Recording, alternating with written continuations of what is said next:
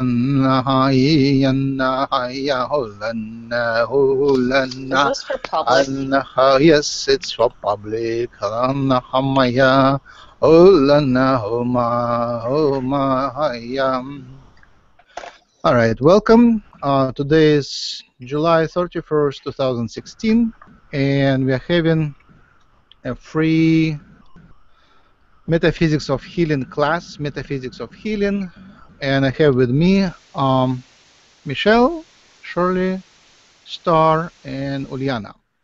Welcome, everybody. And um, prepare your questions. I intended, if you don't mind, to to have more of discussion and less of monologue. But yes, I will start with monologue. Allah maya namanahaya lalanaya nahana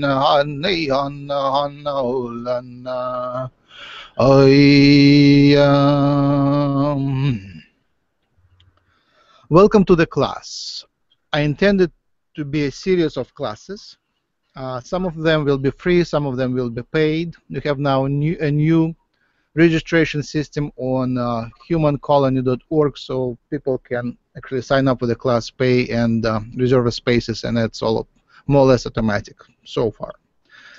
Uh, just the first first run will be a few a few days from now. We, we have a, a class a class with Jim. First class will be channeling class with Jim. Then uh, end of August I think will be the uh, Reiki one a class, and then next will be Reiki 1B class, and then we'll keep repeating the classes, channeling and Reiki classes, and hopefully we'll bring more teachers. So I, I, I intended to be, I have a vision, I intended to grow. I also have got messages from different sources that we we we should build a community bigger and we should help other communities to start. So that is the divine plan for next years, and um, that would be the salvation for the earth. So we unite with other communities, learn from other communities, and grow and do our healing classes and channeling classes and other spiritual gatherings. Right? Uh, the healing plays a an interesting role in, in this. Um, the that's a miracle for sure. We do spiritual healing. It is a proof of spirituality at your fingertips. When you start doing the healings, when you heal with energy, when you heal with chant and other ways, it's it's a miracle what is happening. It's not physical. It's not anything third dimensional. It's higher dimensional miracles coming through. So it's a miracle from third dimensional perspective, and it is absolutely natural for the four dimensional perspective, higher dimensional perspective. So you just wake up to your higher dimensional nature and express itself. And it is natural in terms of development. It is natural in terms of development. So the main understanding of today is that all of us are at different steps at different levels on the same path. We all start from the root chakra. We are born, actually not born, we are conceived and the root chakra is the first chakra which is the part of the fetus. It's first activated chakra. It's survival.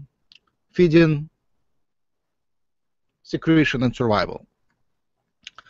And then it grows into the second chakra, and then it grows in the third chakra. And then most of the humanity still plays the games of the first three chakras, are eight of higher four chakras. So the first level of human development is to learn to communicate and it is the root the root chakra. It's um, physical worker which strives to be able to socialize, and the main aspiration for them is to be able to communicate. So they just learn to speak. Um, and then and you do it in, in, in every every one of us does does that part through the lifetime. So we go through the just starting to speak from survival, screaming, and uh, just desiring to eat and uh, breathe and secrete. We go into communication. So for most people, it happens in very early childhood, right? Second chakra is activated early. It is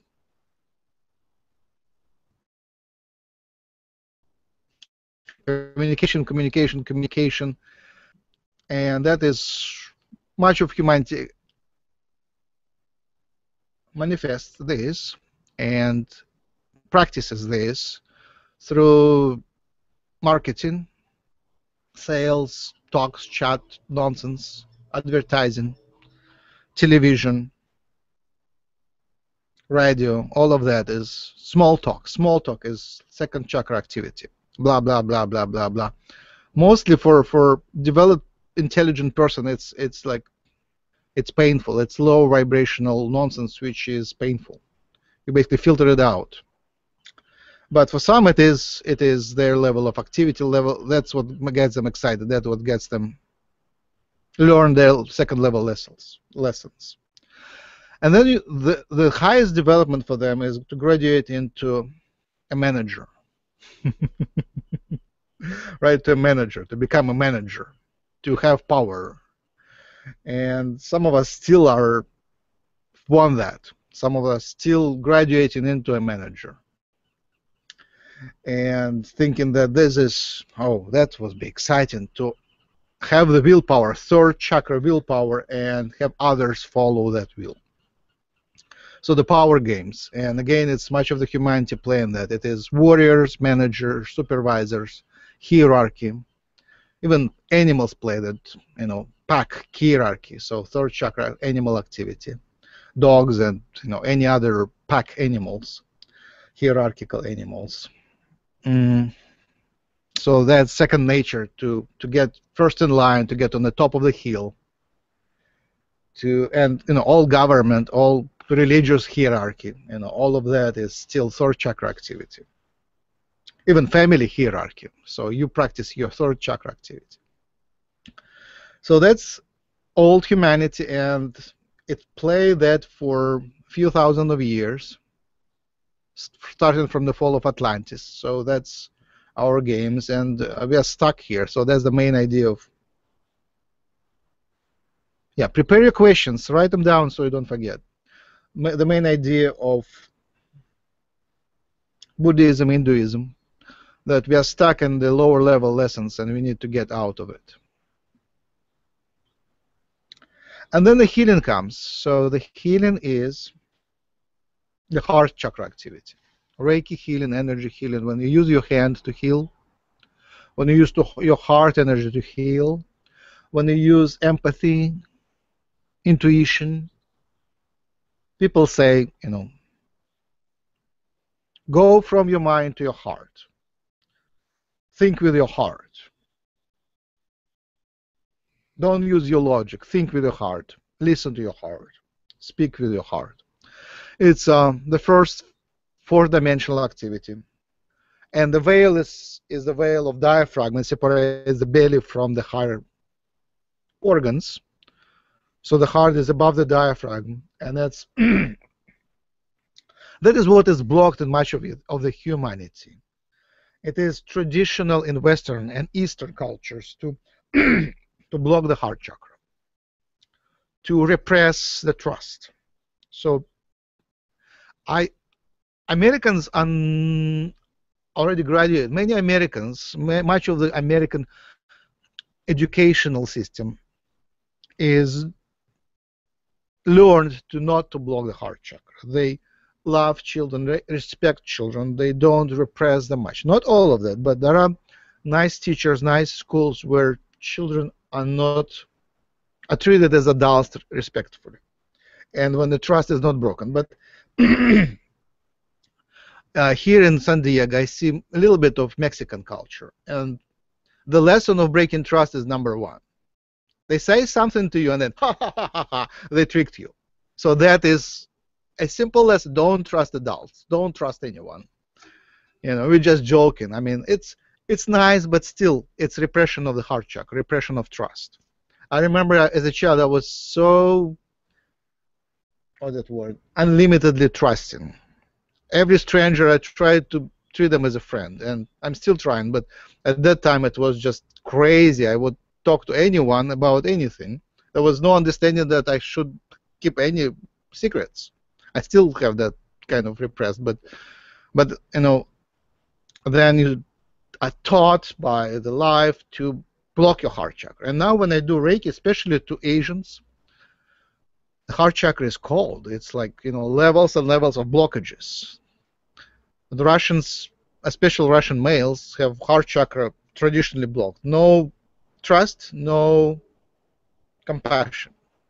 Anything else except trust and compassion. Logic, righteousness, but nothing trust. So, so opening the heart chakra in this world is art because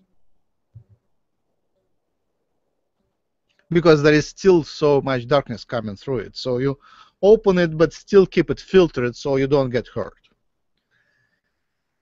And uh, mostly all of you who are here come from alien worlds when open heart chakra is is normal. So you come with open heart chakra and you find it difficult to function here. So for many of you, it's it's it's not how to open it, but but how to survive with with with um, it being open, right?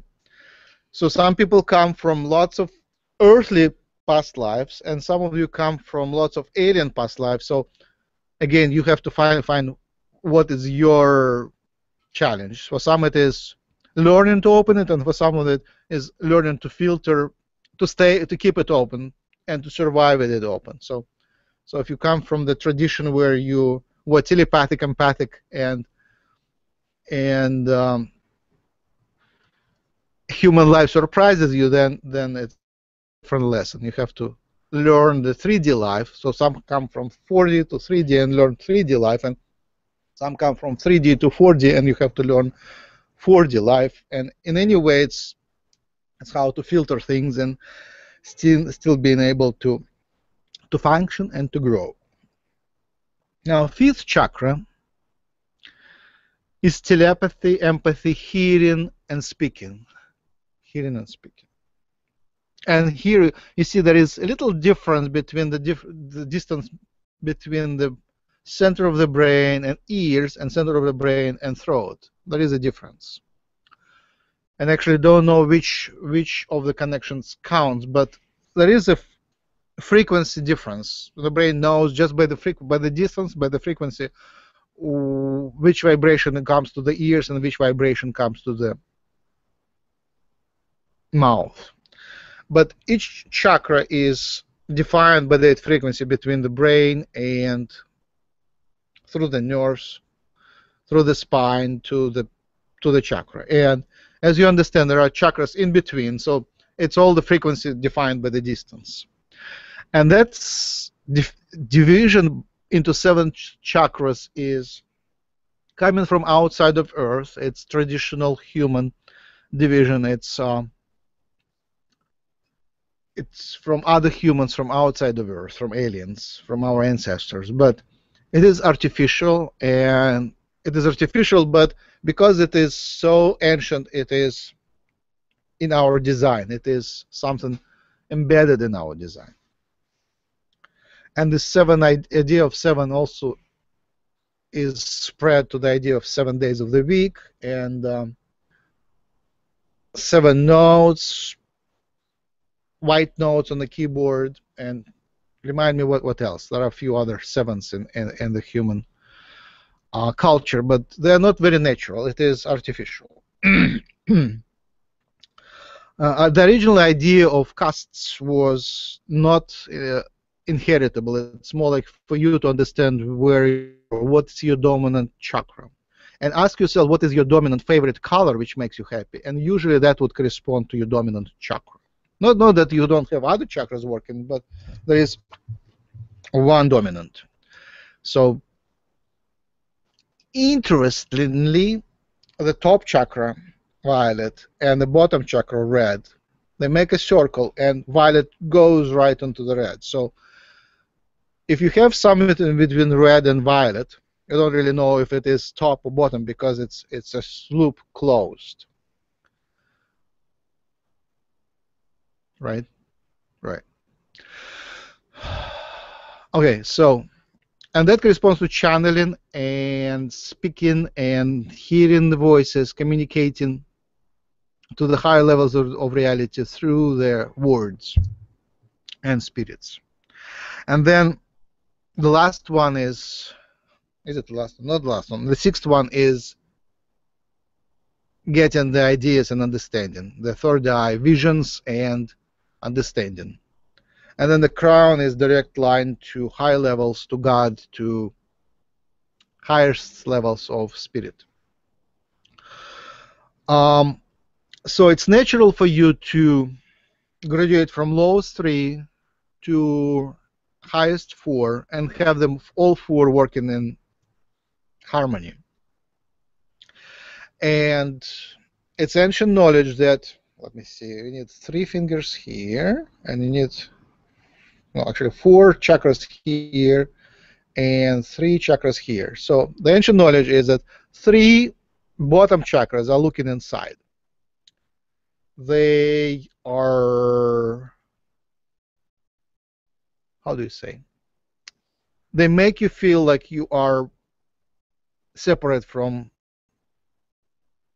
the matrix separate from the reality that you are by yourself so the people with three dominant bottom chakras they have real difficulty understanding the concept of any psychic work any higher dimensional chakras. so for them the world is very materialistic. So first three chakras materialistic, but then anybody can graduate in higher chakras, and then they realize, oh, the world is not materialistic. It's all one. You are one with everything. You're connected with everything, and first you feel feel like the heart chakra you feel things but then you graduate in a, being able to affect the outside reality with your mind so you become the Neo from the Matrix, the magician who just can think, think the things into existence. Law of attraction starts working with higher chakras. Basically, you graduate into yeah manifesting. It's called manifesting. So manifesting through just inner work. You work, you do inner work, and things outside of you start changing. So where does healing comes here? it becomes as soon as you open your higher chakras and you get to the vibrational level of higher chakras, you are becoming a healer, a more powerful healer, a more pow powerful, powerful healer. And it is natural. It's it is um, you just remember it.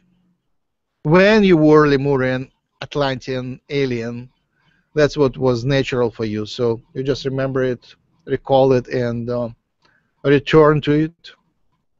And then when you share it with others, it helps the ascension. The idea is that you, the humanity upgrades to higher chakra activity. It's a program. It's a program upgrade. It's a new vibrational program. It's a new server, new, new server, new uh, operating system and it's individual and collective. You can operate on the new system.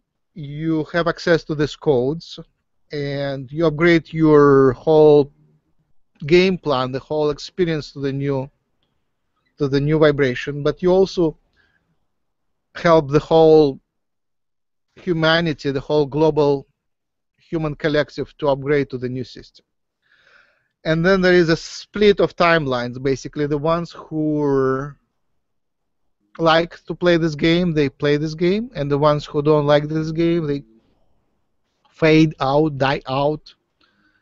It would take generations. So basically, new incarnations have an option to play the four-dimensional reality. They will play that option, and um, some who don't choose to incarnate in four-dimensional reality, they just don't. They incarnate elsewhere. But the the reality is being upgraded next 100, 200 years, the Earth will um, will be upgraded, and uh, we get a lot of help from aliens on different levels, from angels on different levels of our existence, from higher divine forces to get this upgrade. And it's your choice, but you can choose to play along and uh, participate in this upgrade of the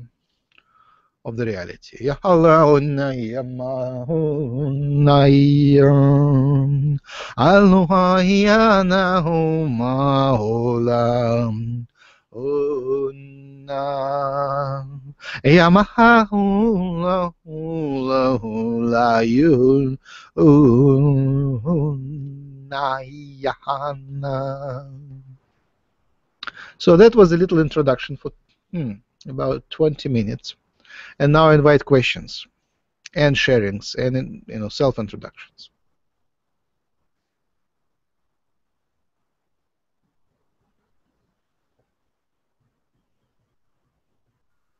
Um, thank you, Max. My first question be, you're a person a lower level chakras, do you recommend some techniques for, um, what is the techniques for opening, unblocking your heart, and graduating Oliana, I'm sorry, it's, um, try to just get very, like that, that distance from microphone because the, the sound is completely muffled. I was Okay. trying to What Yep. exactly to graduate the chakras? Do you recommend some techniques uh, if a person is stuck in lower chakras? What do you do? Oh, great question. How do you unblock your heart? Oh, their heart or your heart? Okay, how do you unblock your heart? I mean, me, how, what is the technique to unblock it? Right. So the other two questions. One is how to deal with people who are stuck in the three lower chakras, right? And if you personally stuck, I mean me, Uh-huh. stuck in that, how to graduate the higher chakra?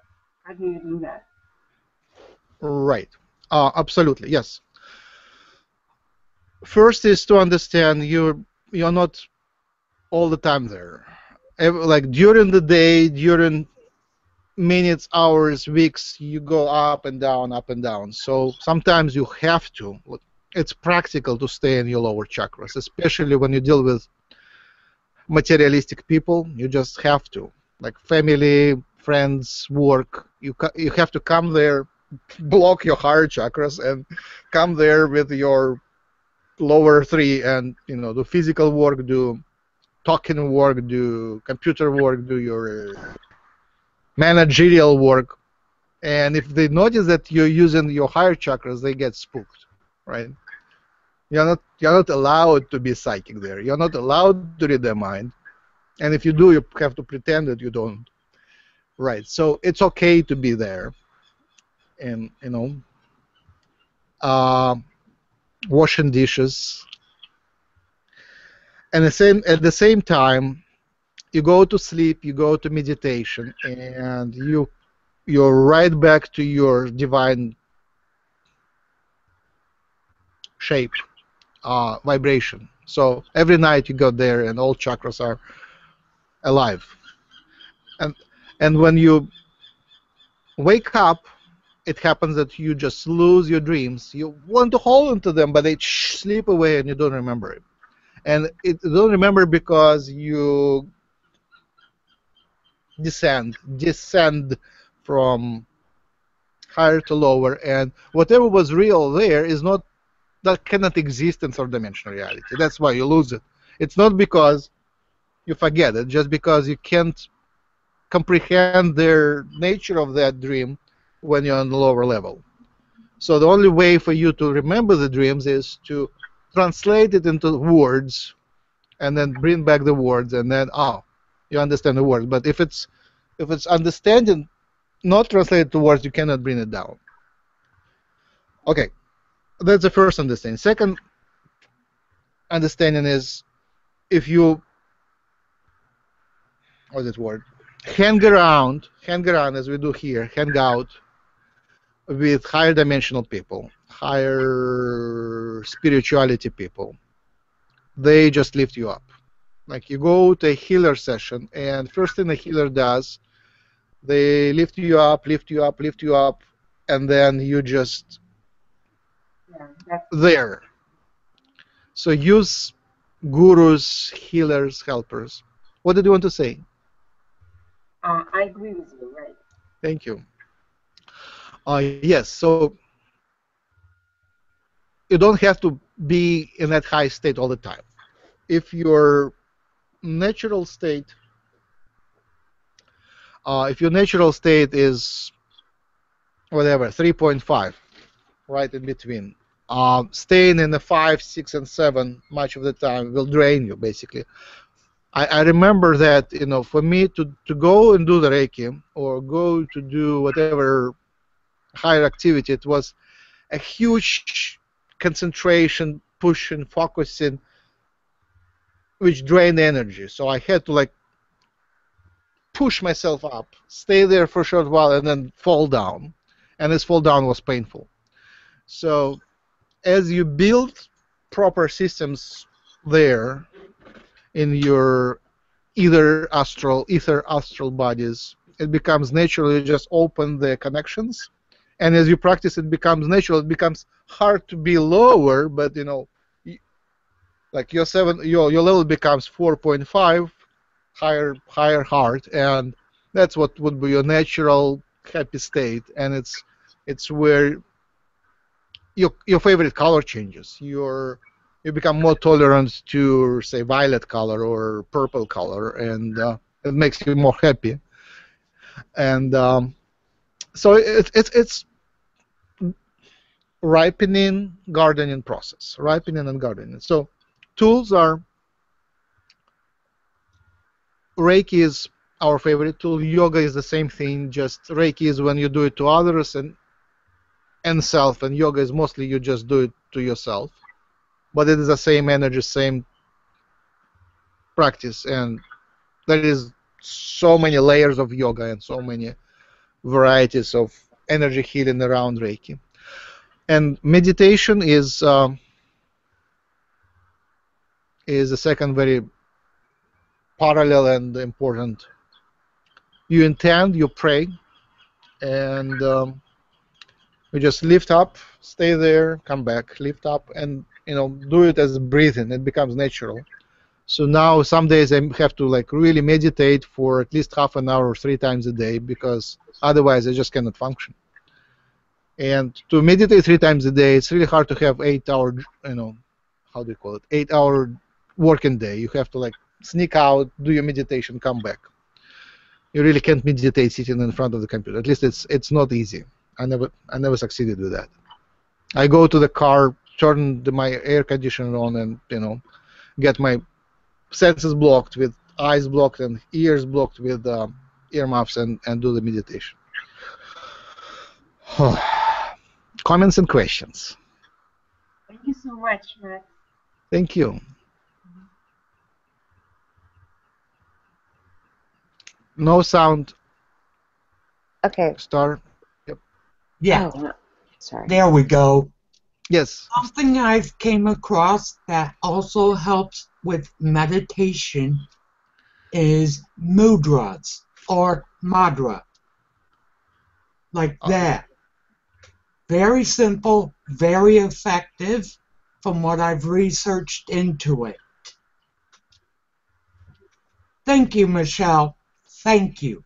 I'm researching it for myself, being ADD diagnosed. And there's certain hand positions for that. Retreat from a crowd, and you can isolate yourself within two seconds. From what I've seen on YouTube and through people who showed it to me. Absolutely, yes. So, Um, another tool at our disposal. Thank you. Absolutely, yes. Uh, recently, I, I just learned that chanting, just Om is sufficient. Just uh, just one simple sound. If you intended to carry the invitation to the divine, it is it is very efficient, especially nowadays. You know, every day you get a lesson, tons of lessons, and uh, people serve your teachers by trying to upset you. And news come which tend to like get you out of the bliss. And now I just learned, you know, oh, oh, something terrible is going to happen. I have terrible fear, panic attack, and um, oh, no, and I invite the divine guidance, divine help, and it practically works. It's very practical. Uh, I, I just read a story. I, I don't know. It's it's it sounds like it sounds like unreal, but it is now I understand it's very very very real. It happens to me like almost daily. Like uh, yogis here in California were building uh, a monastery, and they weren't using proper safety techniques, and uh, people were surprised that they are not ge- getting hurt. And uh, someone saw like uh, a yogi was climbing the ladder, tall ladder, and um, wasn't careful, and he started fall fall down, and and then he miraculously was able to catch the ladder and get get back on it and climb again. and uh, he told that you know it only had he, for the fraction of the second when he was falling down, he was inviting divine intervention and uh, singing Om. You know, it would be a fraction of the second Om, but it was the intention that that he did, and it and he was just grabbed and placed back on the ladder. And uh, that happens to me now daily. You just feel, oh, that is terrible. Something terrible is going to happen. You know, I give up my um, faith to the Divine Mother and uh, and invite her help, and then that changes the reality. The reality just kind of turns turns a little bit, and the you just see the other fa- facet, the other angle, and um, you accept it, and somehow it just becomes less scary. Words are Um, powerful, Max. Yes. What? I said words are powerful. Knowing a thing is going to be terrible is not my favorite thing to do because then something then I invite that. um, because we were talking about the mudra and the mantra, even Om, I don't know about other people, but sound healing is part of my path. So what I will find is sometimes there will be a situation that arises where I feel discomfort, which could be likened to anxiety or fear or anger or something.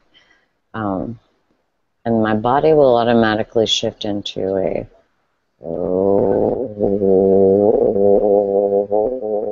a sound or also a very nice way to distract your one's mind from latching onto a thing that is low vibrational like maybe a situation that you want to play around and around and have like angry feelings or sad feelings or mad feelings or bad feelings about.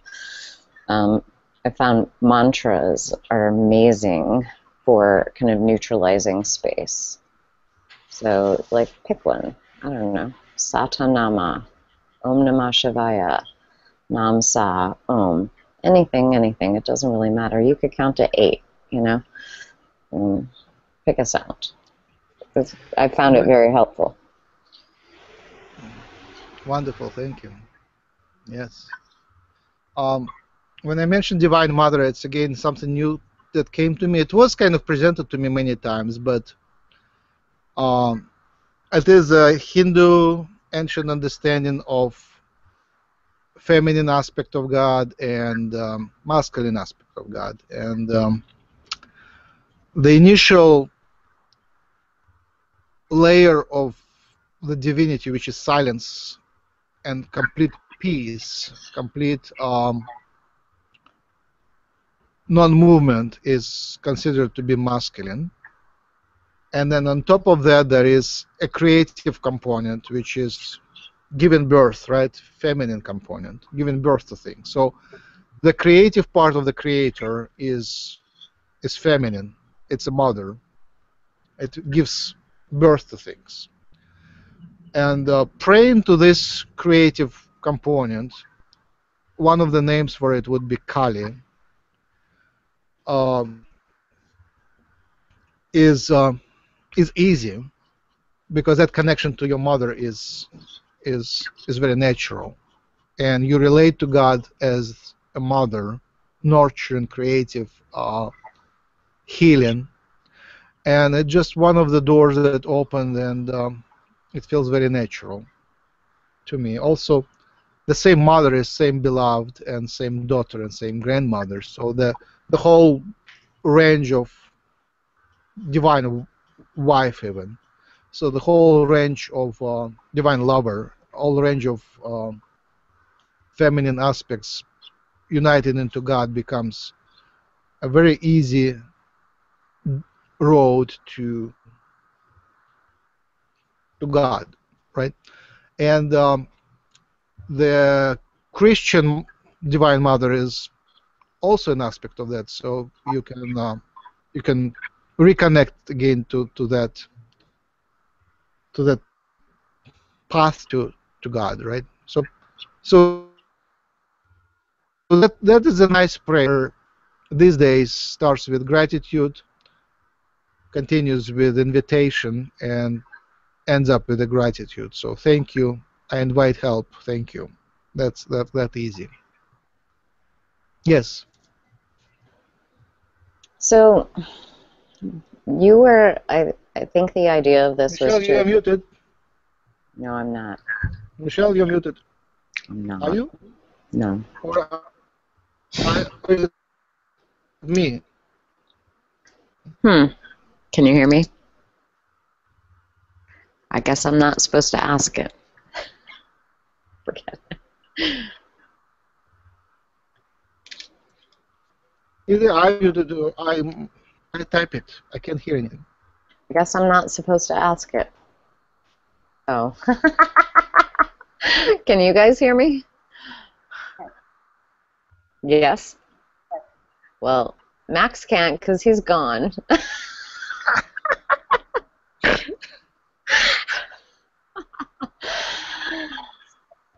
okay.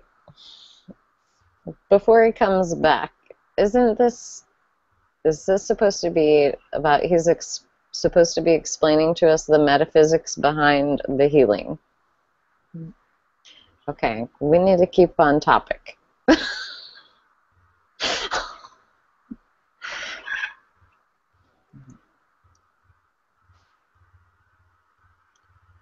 All right. So i'm just going to ask you guys are you guys also healers everybody Not. Not not yet. not yet. Everybody is a healer. Everybody we all have the capacity to be a healer. Um, there are many methods, there are many ways to become a healer, and you don't have to literally probably do anything more than just say, I'm willing. I'm willing to be a conduit of energy. But I think you have the hands-on type of healing. Can you hear me? Well, I am a Reiki, I'm an Usui Holy Fire Reiki Master teacher. So, yes, I've gone to all my classes and I've done all my practices, but I do never touch anybody when I heal because that's just my intuition. Hmm. So, a funny story related to that, since I don't know what Max is doing. So, I was at a Reiki share this week and I worked on an acquaintance of mine and he got up from the table and said, What did you just do? And I said, Well, I'm just a conduit for energy. And he goes, There was literally an Egyptian woman working on me. and I was like, Well, it doesn't surprise me because nothing surprises me anymore. and so, anyway, that came up. it's always like in threes. It'll be so he said that. And I also worked on somebody who brought up Lemuria and galactic languages, etc. It was just a very interesting. Thing. But But- um, I was, anyway, I was going to say when when when someone like, "Are you a healer?" then- wait, hold on. I'm gonna mute Max because it's very loud. Ugh. I can't mute Max. Okay, yeah, I did. Okay. What'd you say?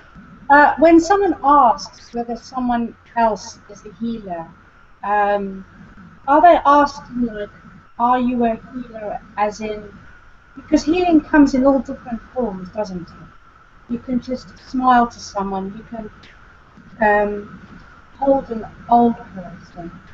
Yes. Um, you can you can say a kind word, Yes. um, and you don't know what seed you'll plant. So that's healing. And otherwise, you also have this hands-on healing. You know, if someone Mhm. comes to you, they want healing, you put them on the bed, and you heal. So when someone asks you what type of healer, or are you a healer, are are they are they referring to are you the type of heal? Are you a I think they're asking you if you have like some concept that you know you heal, that you Oh. have the power to heal. Like that's what I mean when I ask a person a question. Like I literally got telepathed by this girl. She was like came over to me. I was at a concert and she came over and she I was meditating and I was sending toning for healing at the concert so I was just sitting there, and she could see that I was so high vibrational. She was like, "Here, smell this thing," and she put, she's like, "It's very grounding." And then she danced around me with sage, and then she telepathed I needed water and brought me a bottle of water. yeah? This is very weird.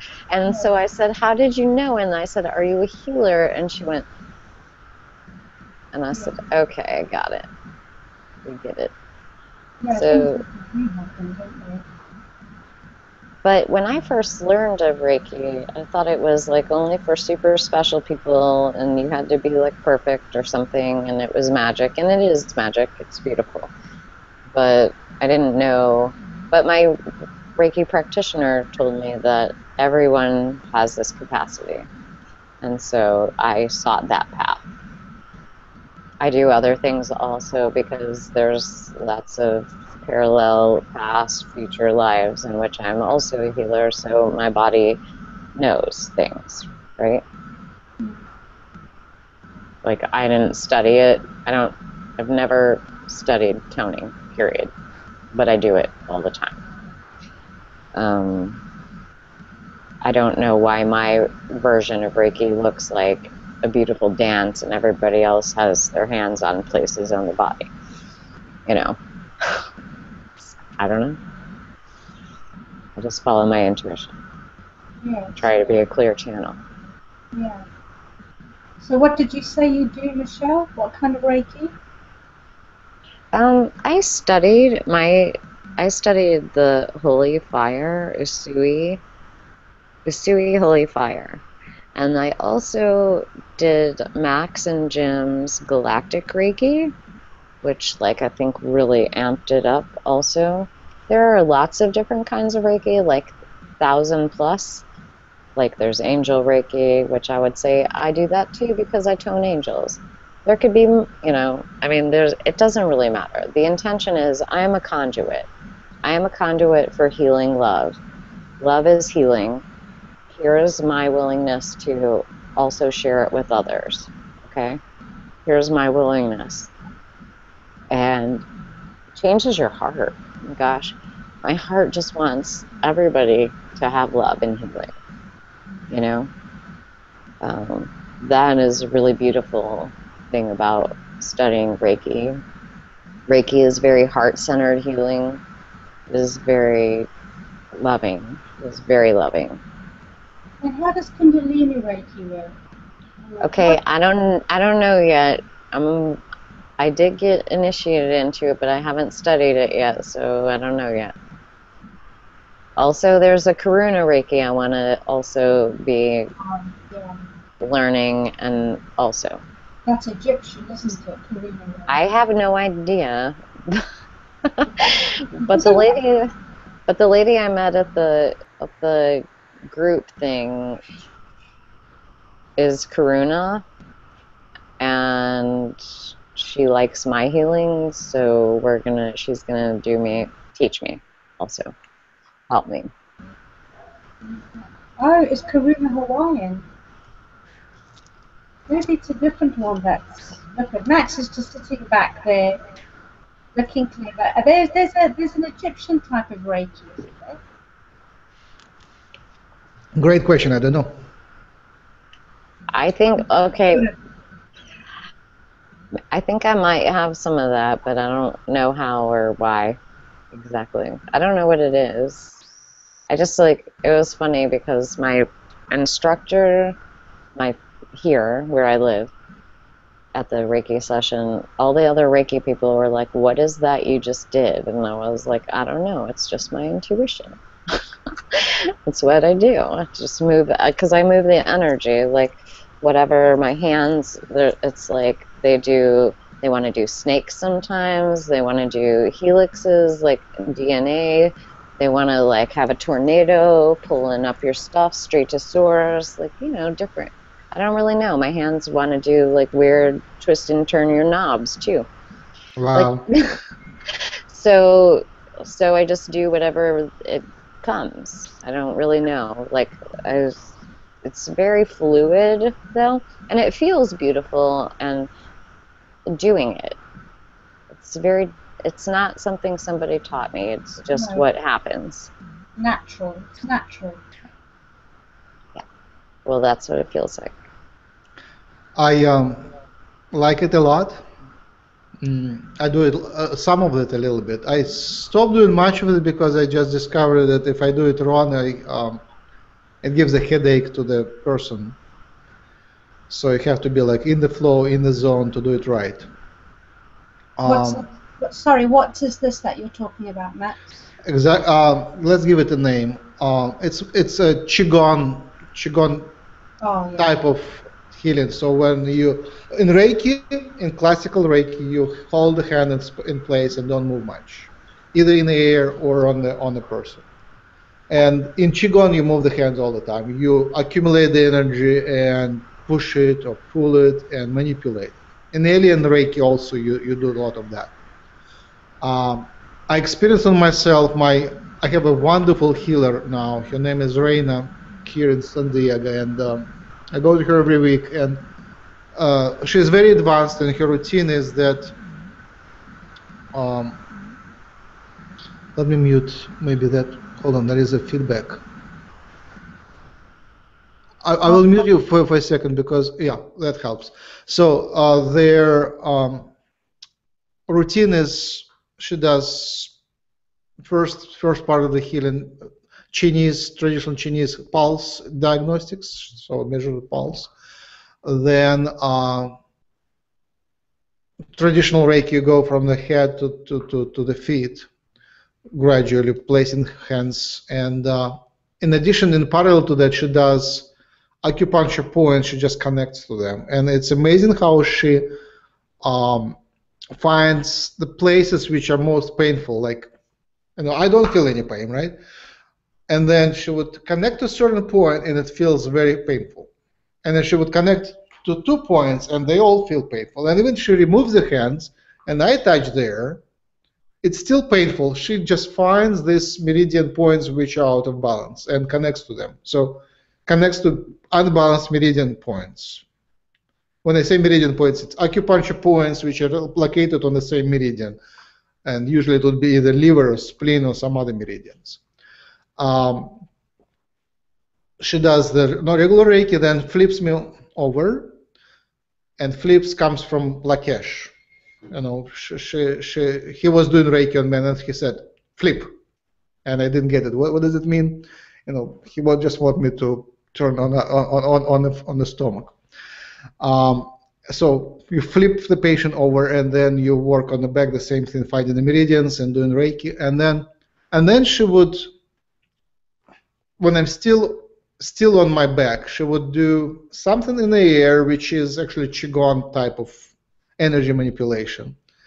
And I rarely open eyes because I don't want to disconnect from that bliss. But basically, that bliss, you know, sometimes I I I get on the other side right away, like in a couple of minutes i'm on the other side i'm in the bliss i'm in the elevated state. And sometimes when she does reiki i find myself still thinking about my business 3d life problems science and all of that. And even if i try to stop it it's still like blah blah blah it works.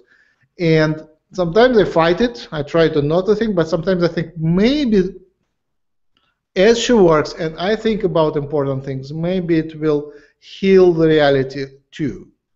So it doesn't really mean that I have to block it. Maybe right now she works on my liver, and my liver thinks about my, you know, that kind of problem in business, science, work, home, it, relationships, and and maybe she, I'm supposed to think it as she does it, so it heals that. And anyway, when she does the qigong manipulation, which is dance in the air, and the most beautiful dance of hands in the air you can find. It's uh, the Legend of Korra anime series. The Legend of Korra, K O R R A. You have to watch it. It's ingeniously painted by Korean uh, animators, and they know know what they're doing. It's Asian type of qigong, and uh, that that kind of movement of hands very beautiful it's all over the place, but especially it is there when she goes in the spirit world and there is a way to uh, annihilate negative spirits.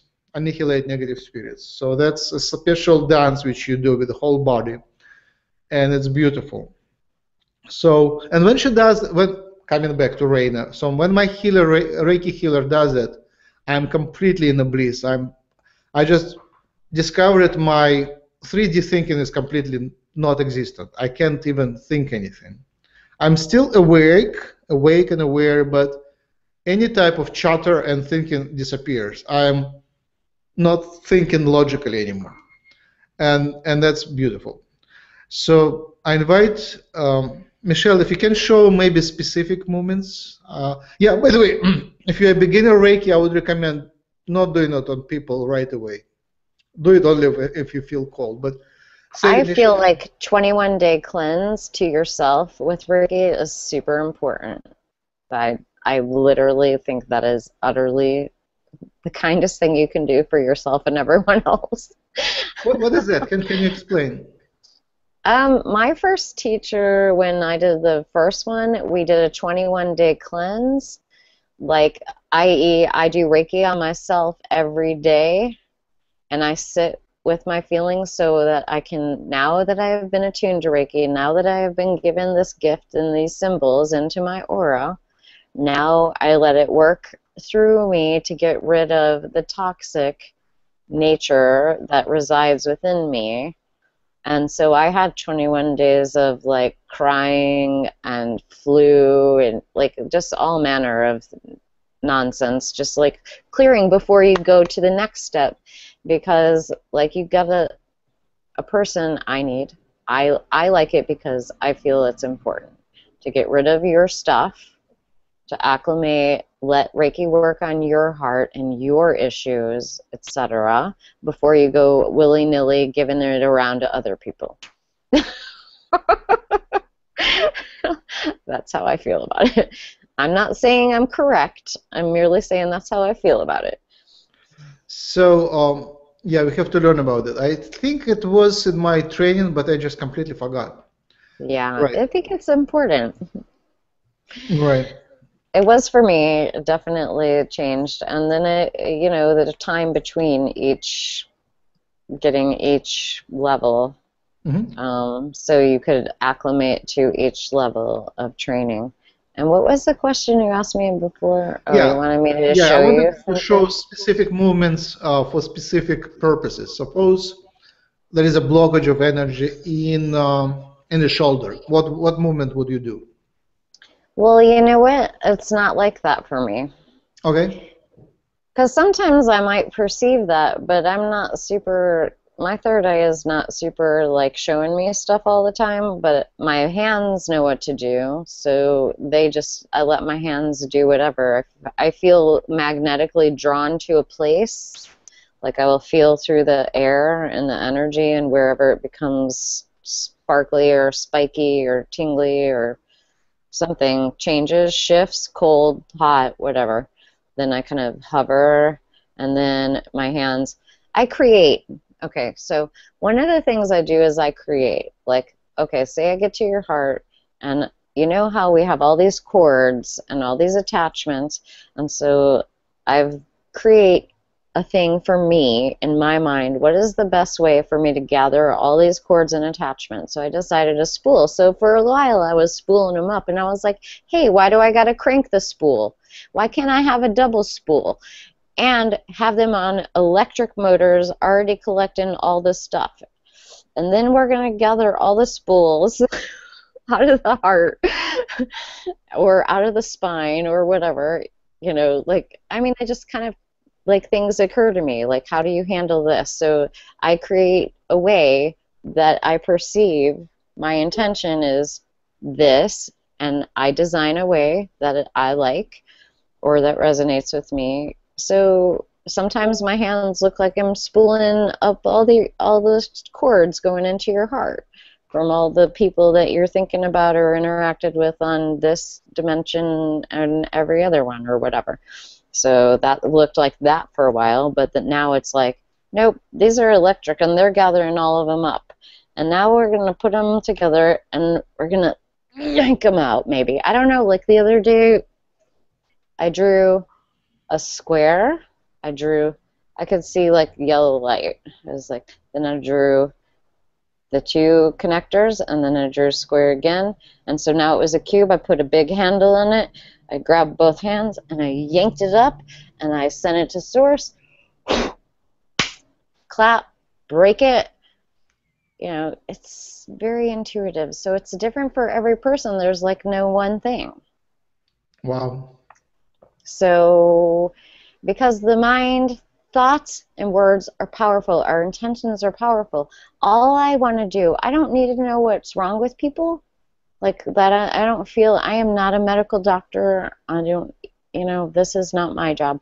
My job is to be a conduit to give you the healing. And I know that the people who are giving me the healing to give the person are in charge and they know exactly where it needs to go and I don't have to be bothered about it. So all I have to do is be the willing person. That's how it feels for me. Like my instructor is much much more like she's been doing it for 20 some years and she can literally tell like exactly what it is and what it looks like and whatever ah, that's another thing this is very important um, and she knows how to get rid of so i watched some of her stuff and some of her stuff i co-opted like you know with the psychic surgery with the reiki fingers um, um, Oh, I was going to tell you, this is neat. She allows the people she works on with their words and their own construct of what they're feeling. Does it have a shape? Does it have a texture? Does it have a temperature? Mm-hmm. Does it have a color? Where is it in the body? Um, so, for instance, I will say, like the last time when I was getting my Reiki Master teacher, that she worked with me on it was my turn and i had a clear lucite box blocking my throat chakra. It was it was so imperceptible. It was barely perceptible. And i finally goes like wait a minute. I feel like there's a box but i don't see anything. But oh it's like lucite or it's like clear. So it's like mm. and then she's a very powerful healer and i black out when bad stuff is comes up for me. Like I just literally see black.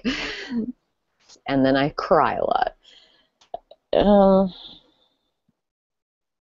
so yeah, I don't know. I I feel like everybody brings something to the table. Learning, learning the regular way is the beginning, and it might be the way you always do it, or a person always does it, and that is excellent too because all the energy is beautiful and healing.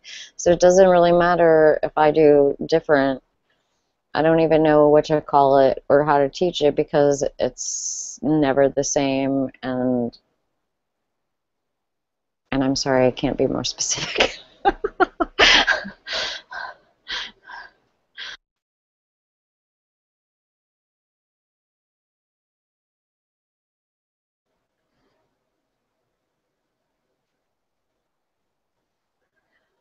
I will tell you that I do imagine um, other people's. I always want to purify each chakra. I want to connect each chakra in balance with each other chakra. So I connect with the infinity symbol.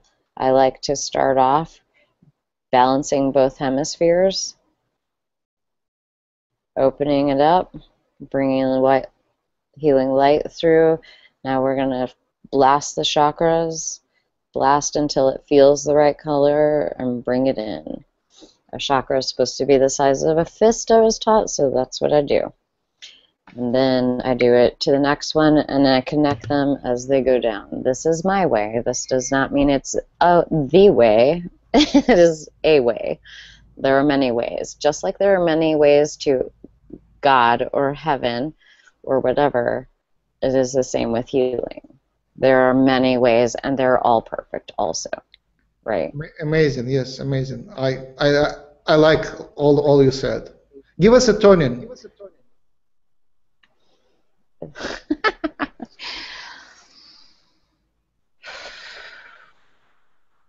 There's bing bongs. I don't know. I hear lots of. Okay. Walayan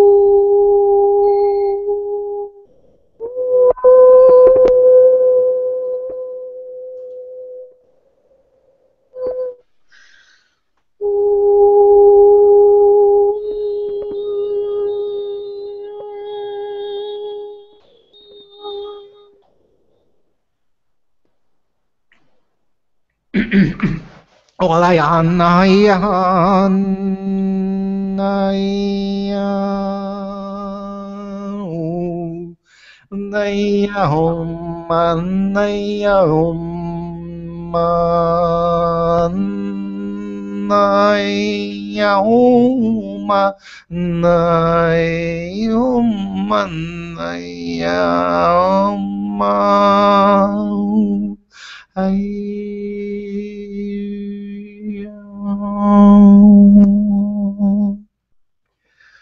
Uh, interesting when you did your hand movements. Um, Slava posted about two three weeks ago on the Hucolo uh, Russian two ladies of my age uh, doing the dual duet dual uh, duo toning and they, they have they have the they come from different culture. I, I don't know what from what culture they come from. It's not Russian not anything. And they do very similar hand movements. When they do that that it, it's it seems like a culture. It doesn't seem like it is improvised. It is a, a cultural thing which comes I guess from one of alien cultures. That's what my understanding is. I invite more questions in the comments. Okay, I have a question for Uh-huh. everybody. Does anybody else feel like they get like tased by laser beams all the time? What does it mean, taste? Okay, imagine I'm have a ray gun in a movie. Like I'm in a movie that has a ray gun and a laser comes out of it and fires at you. Uh-huh. I feel like sometimes I will feel lasers and they're very specific, either like working on me in my chakras or parts of my body, or they will come out of my fingertips or out of my hands. It'll be very specific, very small points of light, and I will be able to sense the thickness and the color, and sometimes it feels like it's binary. So it'll have like maybe a staccato, kind of like ding ding ding ding ding ding ding ding long, ding ding long, ding ding long, or weird things like that. Yes, for ting ting. Yes, not for lasers. I there are rays coming off out of my fingers, but they're not. The laser property is consistent narrow beam of the same width, straight, and the ones which come from my fingers are bent and they kind of like turning around and not consistent consistent width. Uh, but otherwise, uh, yeah, the sensation of ding, ding, ding, ding, like some kind of pulse somewhere, yeah, often, yeah. Anybody else?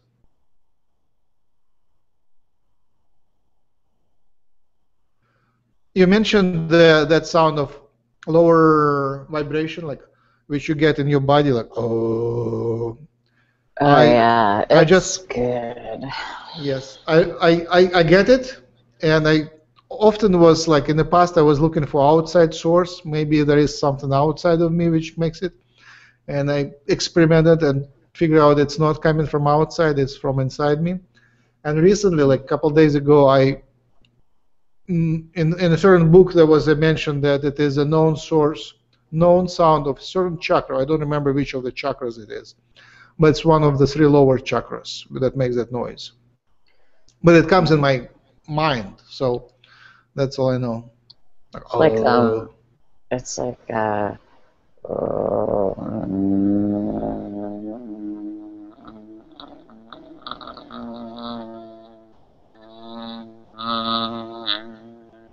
I think that's the root chakra. That is my perception. yep, something of that sort. Yep, root. Yeah, okay. I don't know. I'm not like saying I have all the answers. It's just my perception. Uh huh.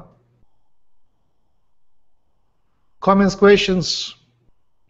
Welcome, new uh, Johannes and Blue. Amran. It's So Amran. we discuss. Hello, everyone. And Michelle, your toning was great. It's Thank very sweetheart. calming and centering. Mm, I'm not in charge of it either. I'm not in charge of that either. Somebody else is doing it. you. It's a part of you, so. and hello, Jim. Hello, everyone. Uh, all right, that will be Jim today. Uh, that's not Jim. That's Max, Oh, sweetheart. Sorry, sorry, Max. All right. Sorry, I have seen you a lot in Hucolo, so I, Thank you. yeah, Max, that was Max. I have seen a lot of your videos, so this was great. Thank you. I'm happy what you what you do. It has helped. It has helped me. It helped me to come into this. Um, yeah, to know so many people and know all all about the aliens, UFOs, and so on. Thank you. Um, what is your challenge today in terms of spiritual and healing development? What What are you working on today?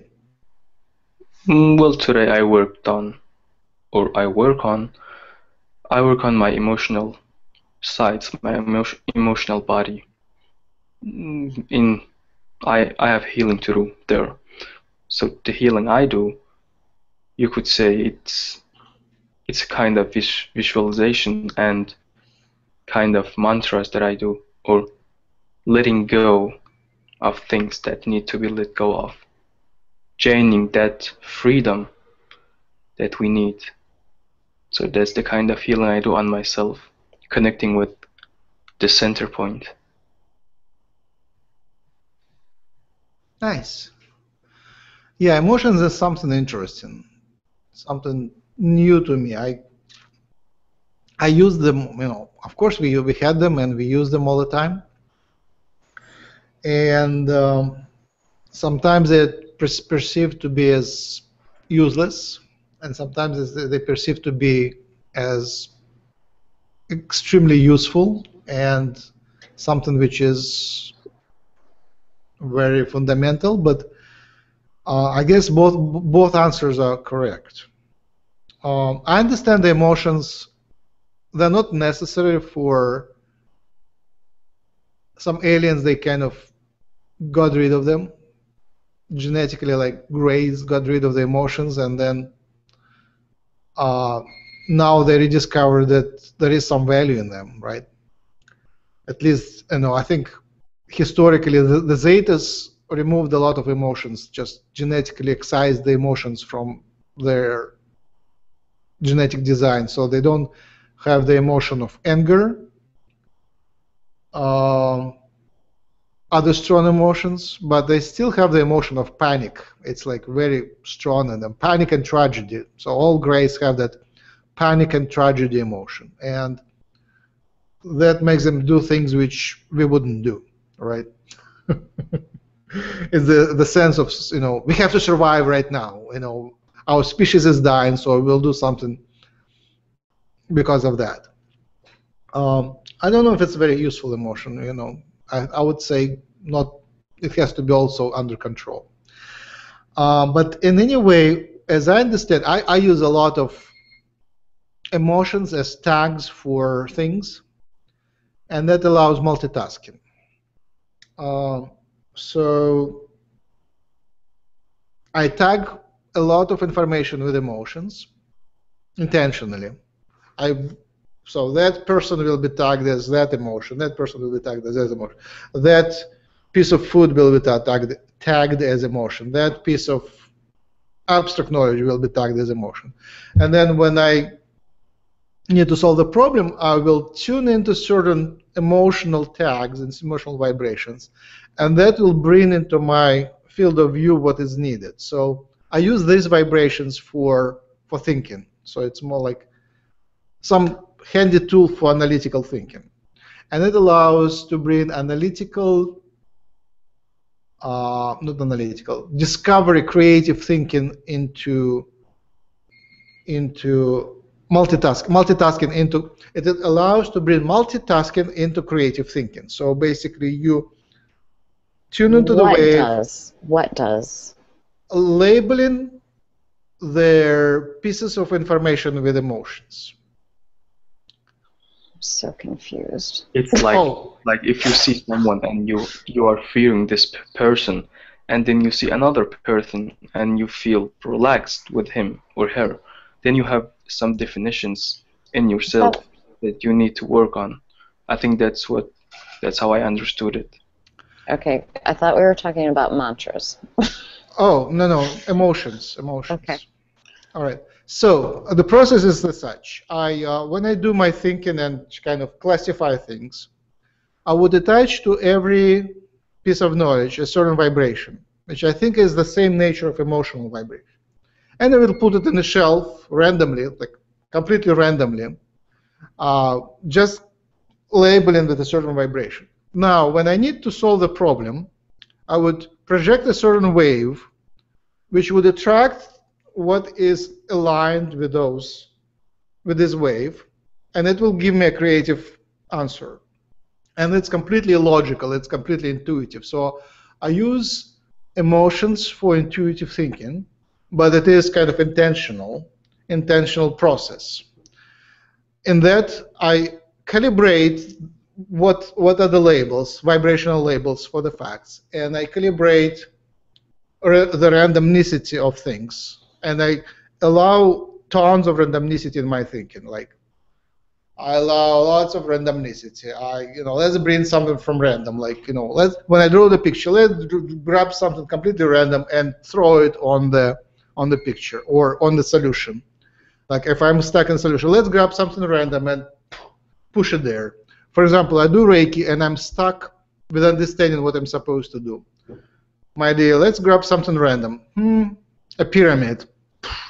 Put it here and see how their intuitive picture develops. Or let's create a wave, as Michelle mentioned, creative wave, a tone, like zzz, random tone, and see how the picture will clarify, evolve, there is a word manifest and um,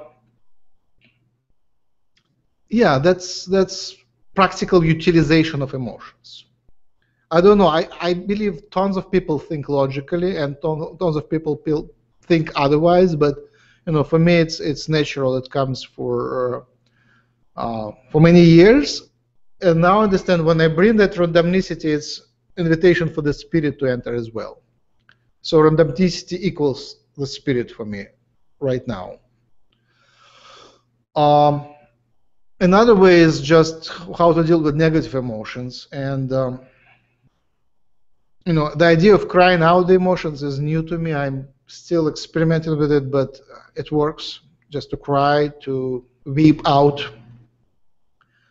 and to block negative emotions and block the anger and convert it to excitement that's you know that I learned from Bashar and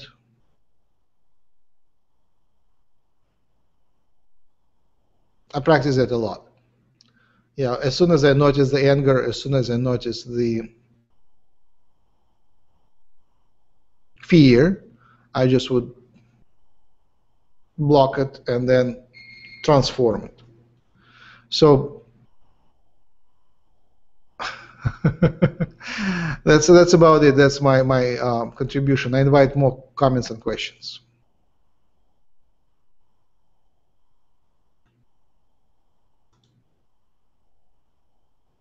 Well, I got nothing.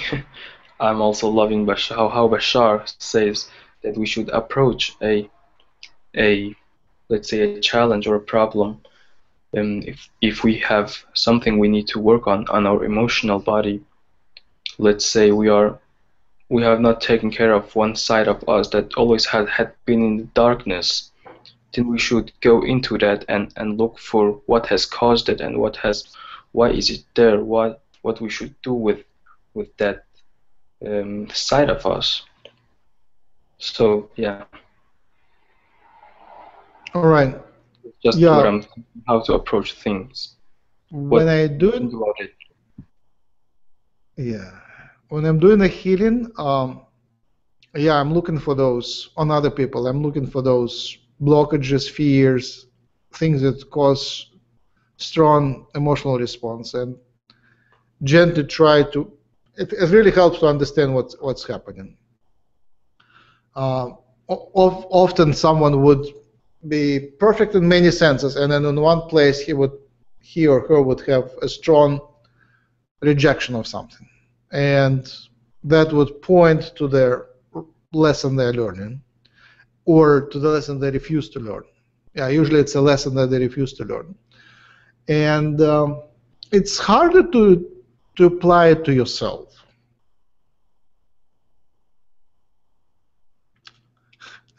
You know, when you when you yourself have that strong rejection, fear, blockage, then it's painful to go there, right? But True. you know, you know, it's uh, I guess just to realize that that's something to work on is is uh, is is the first step. So if you feel like oh that that is a that thing I really hate there I never go maybe that is the place to at least mark for the future exploration. But yeah, but uh, on the other hand, there is so many positive blockages, like blocking the television, blocking the news, blocking uh, channels of negative influence. You know, to, to stay to stay purified and high, you have to block the dirt, right? So, so blocking the dirt is okay. To washing away the dirt, you don't have to swim in a swamp, right? You you go to a nice beach and uh, clean yourself up and and so on, or nice uh, spring and um, and purify yourself. So the the hatred of dirt is is okay.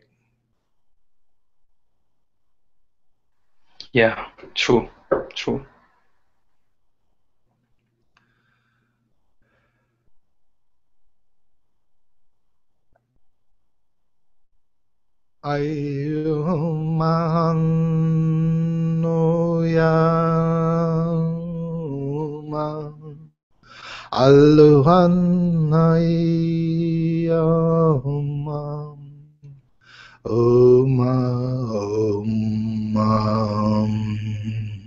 Oma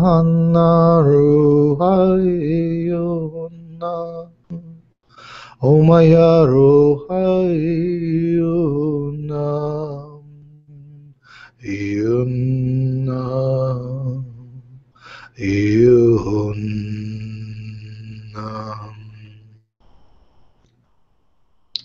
All right, n- now it's a good point for this to discuss uh, sexual energy. Do you have any comments and questions and statements about sexual energy?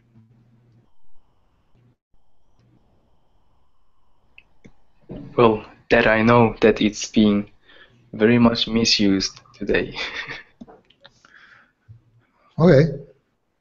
Oh, of course, absolutely. All right. Um, misuse of sexual energy.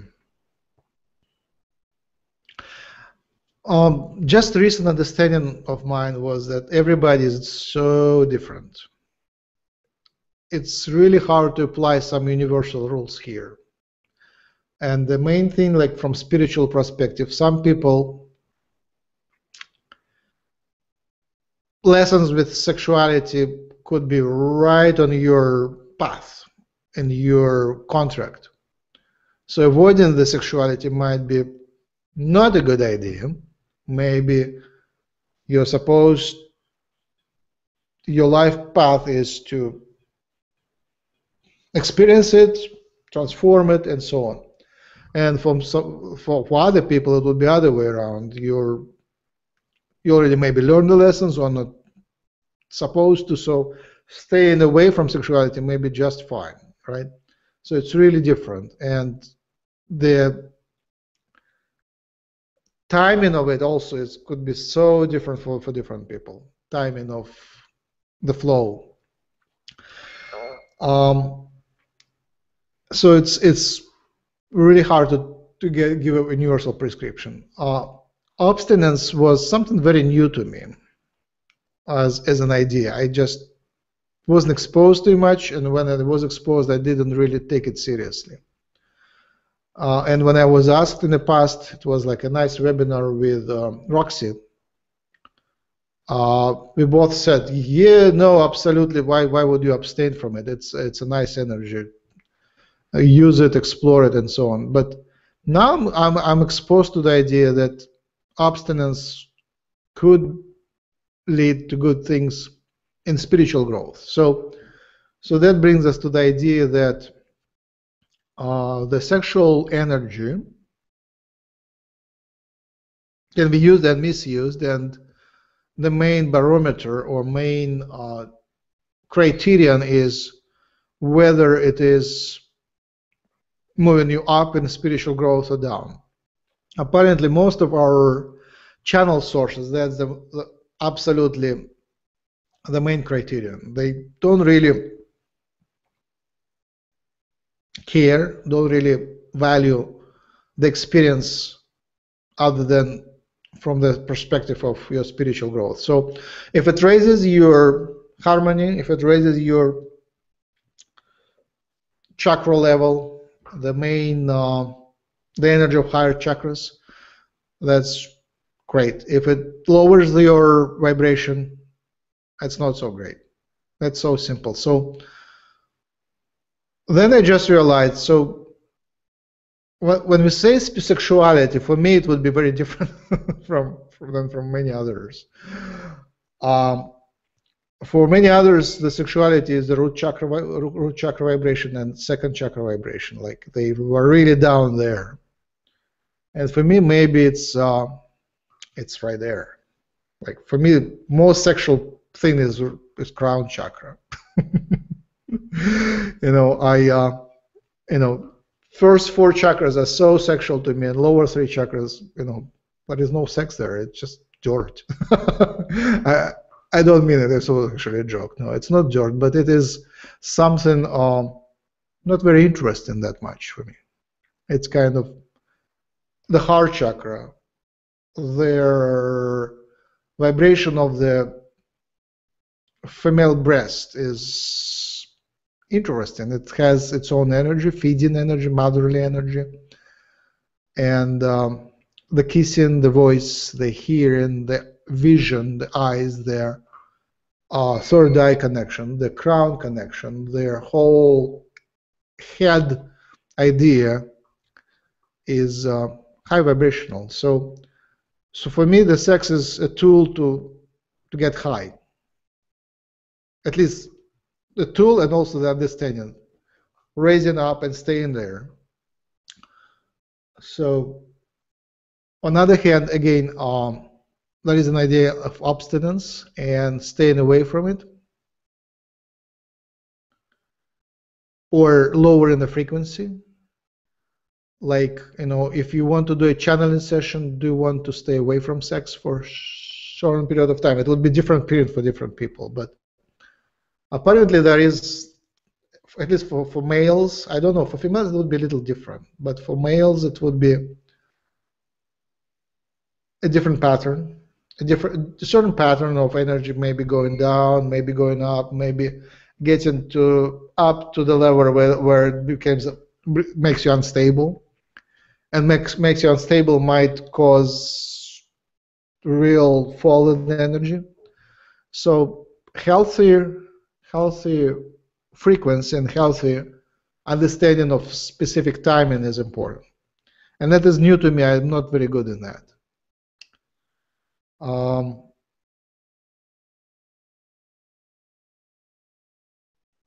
raising the vibration. yes, the the sex as uh, interaction also could be very different in terms of I the balance are you how much do you give and how much do you get back? And how much do you exchange? Sometimes you get back so much you are high for years right? And sometimes you get away so much that you are low for years, right? Years is artificial. Like I really don't want to put a real time because time is different for different people. I, I observe now lots of uh, young people and not so young people who are absolutely not interested in sex, and uh, it surprises me. But I think uh, initially surprises me, but I think it's just a stage for, for the humanity to to go through. Like as a collective, human collective, as spirit collective, collective human consciousness, I think the humanity already explored the idea of sex so much that it became boring for the spirits. And um, they just, I was thinking that, you know, my higher self wants me to experience that, that, and that because they enjoy that. Apparently, they, the messages I get, you know, it's it's it's only they approve it only because it's necessary for my development. But what they value is the product, which really has nothing to do with sex. They want me to graduate into a higher spiritual shape, structure, vibration, harmony, and sexual development is just part of it. You have to like become whole, build, grow, manifest your spirit body, and that is part of the growth. So the fact that lots of humans still play this game of sex is just the choice, and it's part of the delusion, and maybe some of it is necessary and some of that is excessive. So, so it's a very interesting question to ask different aliens and spirits what they think. Uh, a typical question asked to new aliens, I would I would ask them, do you find humans sexually attractive? And 100% of them answer, oh no, not at all. right. Um. And especially Yahyel said, you know, all what you do with sex is so. I think that word would be repugnant, but I'm not sure. Repulsive. Dorothy.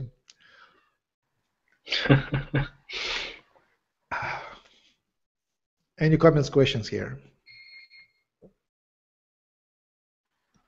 No. Yeah. One thing I've learned, we have manipulated, discontorted, and whatever for sexuality so much, and thank you for that viewpoint, Blue. What we are supposed to use it for, because it is a primal energy, is to create that which we need on a spiritual level. That's just my viewpoint on it. As a healing practitioner, we also use that same energy to raise the vibration of the attunement of a client so that it goes in a little bit better. Hence the 21 day requirement to bring it back into themselves on their own. Wow. That's my viewpoint on it. What did you say?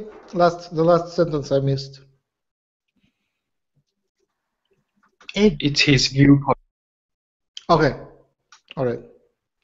Yeah, and I also think about it. I mean, for me, sexual energy and sex is is to is to connect people together and connect by connecting ourselves together energetically. We connect to God, to the source. And when we do it, it's that energy it has to be exchanged between us and not it has to be two-way energy exchange and not one. And that this is also my viewpoint on it that it's one way to connect to god with it and one way to reach that that kind of that and spiritual state of being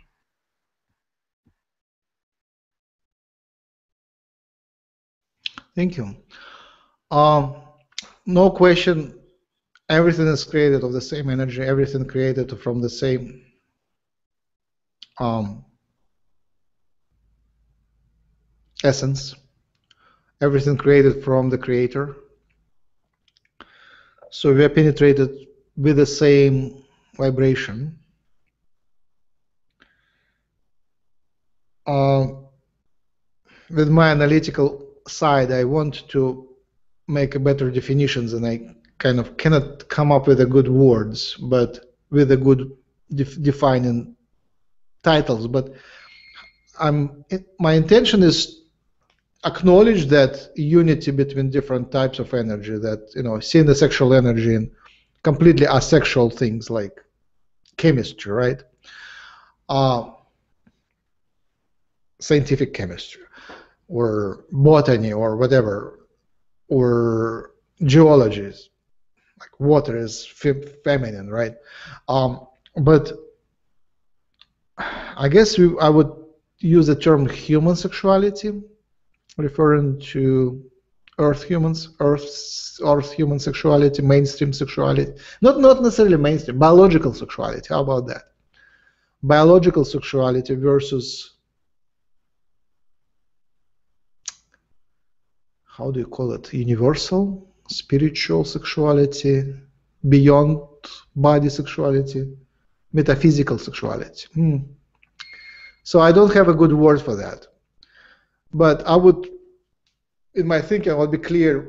I'm talking about one or another, and not necessarily merge them together. They they are made of the same substance, of, of course, but you know, I would rather treat them differently, because you know, sexuality of electron is a little different than sexuality of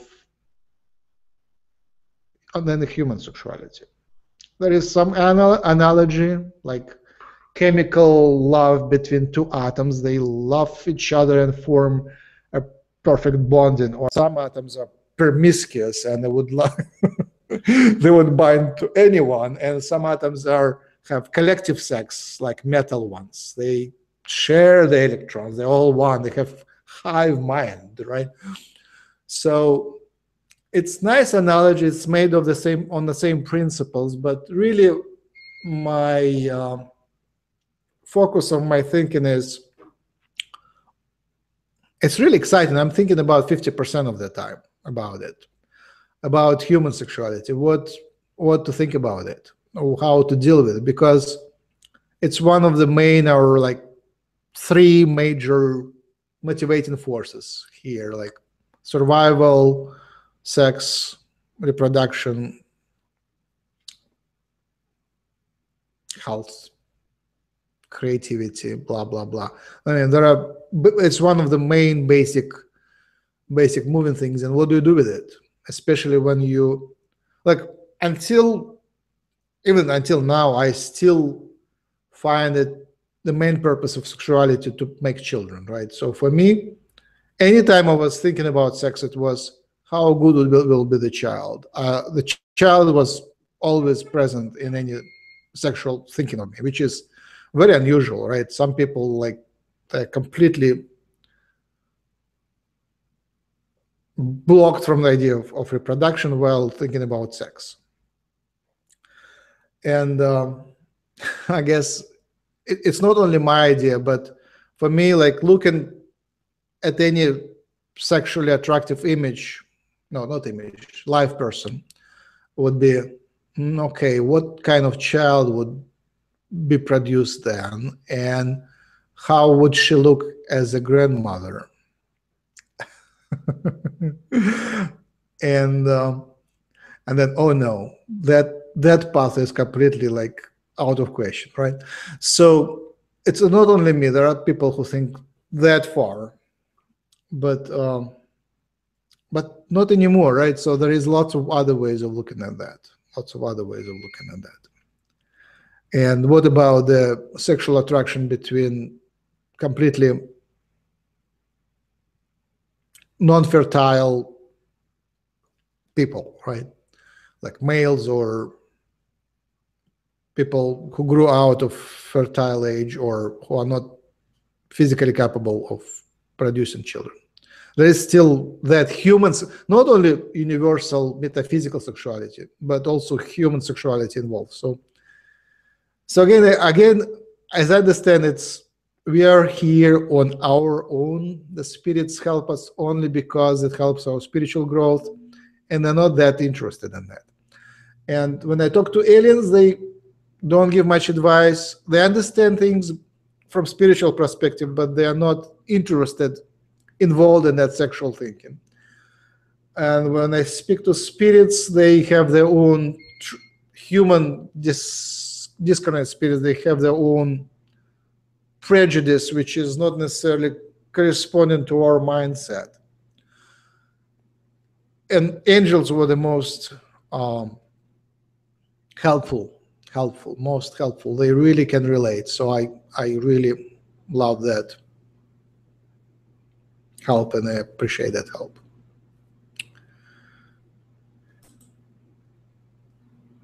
Starter, would, would you like to comment anything? Yeah, actually, I think we're pretty much done because it, now it's just you and me. Uh, that's all right. That's all right. It's uh, right. I I block any fear here. I can talk to myself. And we are, Oh, we are still hey. recorded. Yay! Shirley, we are talking about sex, human sex. Sorry. You know what? I completely forgot I had a client. so So you already finished your session? I did, yeah. It was, uh, yeah, it was like a beauty beauty session actually. So yeah. Thank you much for coming back. Okay, so what? So sex. Let's talk about sex, baby. yay! Yay! Yay! uh, no, I had a plan to speak for two hours, and I don't see any reason to stop before that. Um, I, I intend to make this webinar uh, class more or less periodically regular. So um, right now it's like we have a few people, but that that room can fit up to 25. So so my intention is to have it popular and periodic and get it going. yeah, that's. Good. and it's, it was a good time as well. Yeah, I, I might I might go into channeling state, but right now it's my interest intention to stay to stay in my body and keep talking from uh, from my own perspective. I think um, I learn a lot, and also I let a sound in place where I can sound my um, um, what is what is brooding in my mind. Which is healing in itself. eh? Yes, absolutely, that is true. Yes. Uh, there was a. I, I'm going to change the subject, if I may. Absolutely. Just a little bit about the healing thing. I wanted to ask two questions. hmm Um, first of all, uh, recently I had a, a Kundalini Reiki attunement. It was actually vi- online via somebody on YouTube, hmm and I never thought that you could have something like that. But it, but it's really worked, and my and my body's really res- responding to it to it energetically wise. You know, when I when I say uh, Kundalini Reiki meditation or whatever, I can start feeling the energy come through, and it and it it feels it feels much stronger than Usui Reiki for me at the moment where I am at the moment. So, but I don't really understand what Kundalini Reiki is and how you um, apply it for healing somebody else. Can you explain it to me at all? Can't hear you. I'm sorry, I don't. I my teacher Barbara Carlton teaches it, but but I didn't take the class. I completely blank on it. I'm sorry. Okay. I know the word. I can I can feel it though, and I think what it does is I I think what it does is it makes you feel it can make you feel very grounded, but it makes you feel like it's made me feel more alive because I think the Kundalini is about awakening up your senses. So the senses to eat and to feel and and all that. I sort of feel like I'm able to, I'm expressing myself more and I'm enjoying food more. All those sort of the senses, the pleasures of the senses. I think that's what it does, that it heightens everything. Uh-huh. Um, is it the same thing as Kundalini rising? Am I talking about something I know? Ah, yeah. Yeah. I, I mean, I think so because it's all about the the snake rising in your body. So, um, yeah. I experienced the Kundalini rising, and uh, but it didn't get complete to complete uh, ecstasy. It didn't get to. So there is that spine, which is a resonator, and there is uh, electric impulse going through the spine, through from the brain to the spine through the nerves. It's electric conductors, and they have insulation, myelin layer of insulation. But as that happens, there is, and there are cells in the spine. They are called dorsal ganglia, uh, which have DNA. So there is like that cord also have tons of DNA in it, and as I understand, DNA is getting activated by this electric pattern of vibration, and DNA becomes a transdimensional portal which opens the connection to higher dimensions. And that connection happens through their point between the brows and the point uh, pineal gland in the brain. Um, but I didn't get to that to that opening point. So the raising goes from the bottom up, and it has to get the here, and you get you have to get, connect to the uh, the source, God, Divine Mother, directly. So that's the purpose of Kundalini awakening, and I didn't achieve it yet. Does that just happen whenever, or do you uh, consciously make it happen? You know, consciously. Right. For some people, it happens just like that. And uh, we had someone shared in our webinar that for him it happened because he's in very good physical shape, and he was doing sports and practicing certain exercises. And after these exercises, it just happened for him. So for him, it was first step of spiritual awakening, the Kundalini rising. Uh, for others, it is a lifelong work to, to achieve that. You have to have a certain physical health, certain posture, certain meditation, and as it rises, you enjoy it. You're not afraid because he was scared by this. He was thinking he's getting sick. And as you grow, you should be able to incorporate it and get this dimensional opening, and it opens certain portals, and, and then you can repeat that experience, and that can make your more high vibrational to reconnect to your spirit in a higher way. So we're it, it of course you know being open to it, not to be afraid, and to be um, helping that rising. I think is is a great idea, and it can happen with sex or it happen without sex. It's uh, it's both uh, a possibility. But again, I'm I'm new to that. It's something which I I have to learn the theory as well. I'm not theoretically well versed in this. and when you, I mean, back in '99, I believe that I had a big, I had a big spiritual awakening then, and there was a time where, and I don't know if this is to do with Kundalini rising, but there was a time when my whole body would shudder, like as if there was a little mini earthquake going on. Uh huh. And I uh, would turn around to my partner and say, "Did you feel that? Like the earth's trembling?" But I could feel it within inside myself. Did you have? Did you ever experience those sort of feelings? Yes. So I wonder whether that was the the Kundalini then. But I don't know where it's gone to. I think it's different, but again, I'm not well well versed in this. I think it's different. But yes, it's also something spiritual, absolutely. Yeah, some some days I have the vibration coming up like really strong. Yes, and sometimes it's a, an earthquake too. All right. Okay.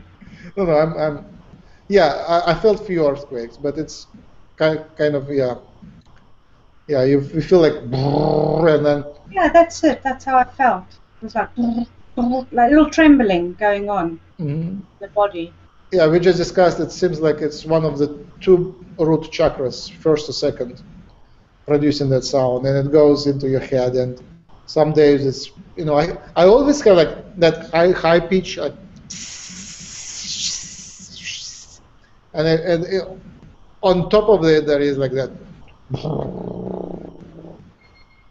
And do you hear that during the day or just at night when it's quiet? I um, during the day, if I tune into it, if I just kind of tune into it right now, yeah, it's there, it's there. But usually you notice it during the meditation. I have several meditations during the day, and that's where sometimes my attention goes to it, and sometimes it was some days it was so high that it's it was like bothering me. But now it's kind of more filtered out. It, I can tune into it, but I can tune out of it, so it's not interfering with anything.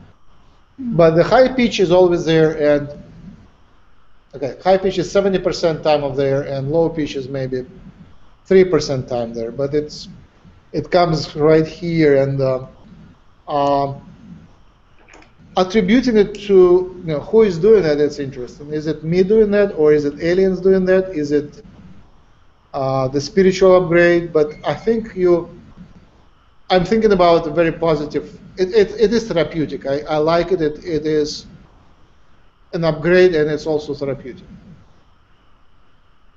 Yeah, I suppose if you're not fearing it and you sort of Oh yeah, some people go to, doc- to the doctor and ask them to heal them from that. Yeah. yeah.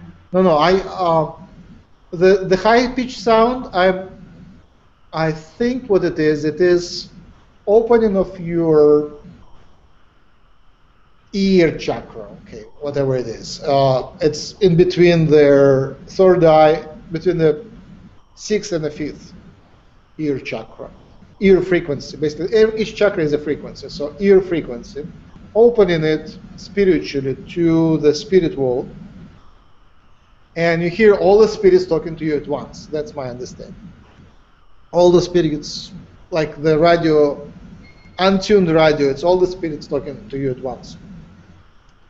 And then you learn to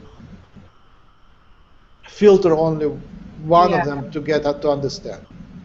And the tool for that is purification and focus of focus of your own perception. So you want to focus your perception on one thing. Give yourself one uh, single tone, and then as you have single tone, single focus, one point, then you get the single answer.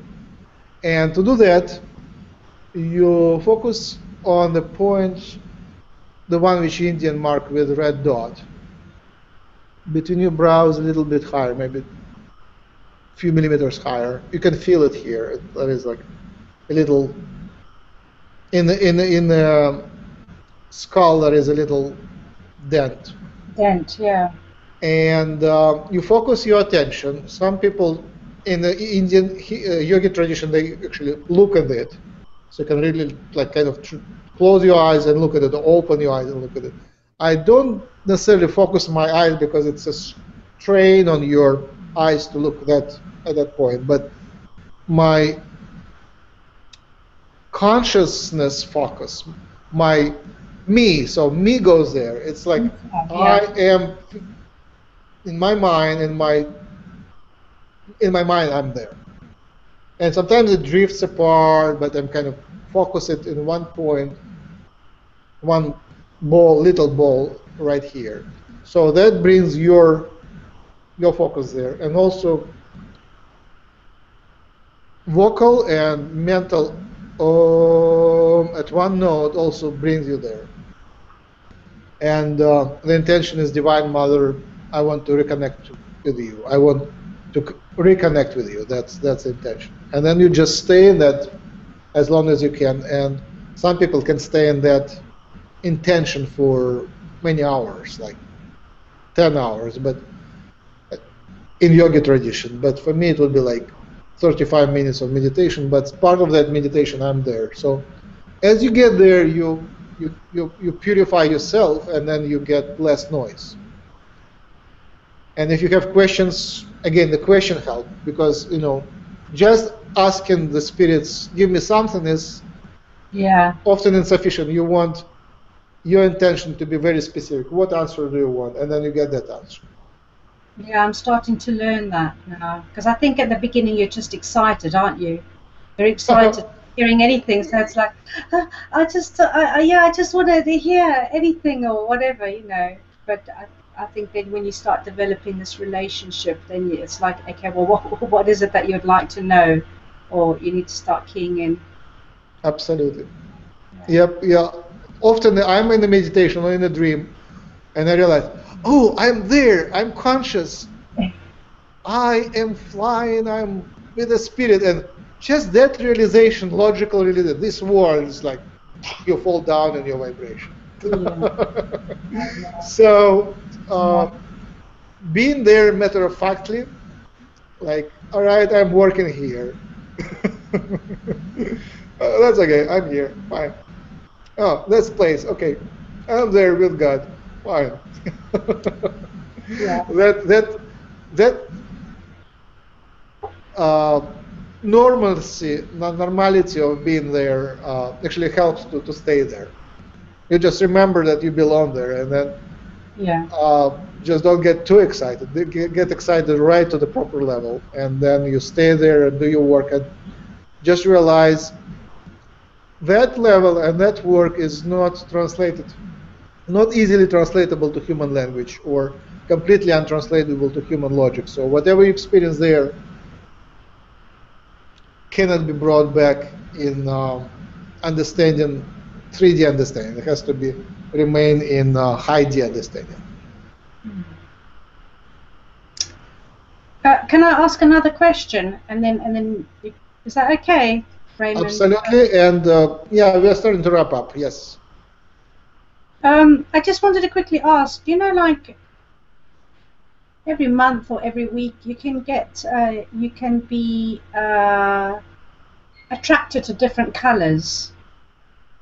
And you were talking about the chakras. Yes. Why, why is it that say one month I you can really like blue, and then the next month you really need red? What does that actually mean? Have you got a lack of something? In is it that you need to work uh, in that area, work with that chakra more? Is that what it means?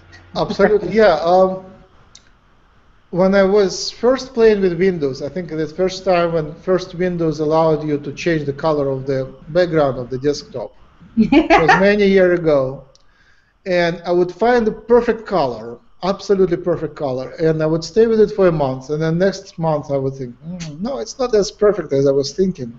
Let's change it to another color, and uh, and as as the year goes, I realize when I come back to the same month of the year, my favorite color returns to that original color. So I think it's it, it has to do with the zodiac cycle.